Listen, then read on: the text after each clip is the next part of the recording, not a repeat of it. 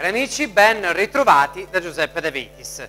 La lingua di fuoco che si avvicinerà, e questa volta però non interesserà in maniera eh, diretta, o meglio in maniera decisa, eh, la penisola italiana, ma comunque investirà ugualmente la penisola italiana, adesso si trova tra la Spagna, lo stretto di Gibilterra, l'Africa più mh, nord, nord-occidentale, eh, Sull'est Europa c'è ancora quest'area un po' più fresca che continua ad inviare dei refoli freschi sul versante adriatico, ma si esauriranno e quindi la lingua calda africana, che sta appunto tra la Spagna e l'Africa eh, più occidentale, si sta avvicinando.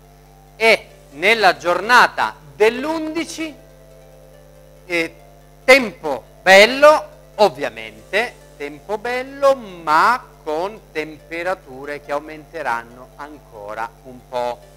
Il caldo si fa sentire su tutta la penisola italiana, tra l'altro, da nord a sud, da est a ovest.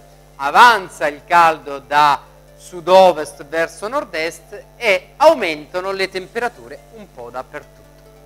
Io mi fermo qui, buon proseguimento di settimana, anzi Buon inizio di weekend, arrivederci.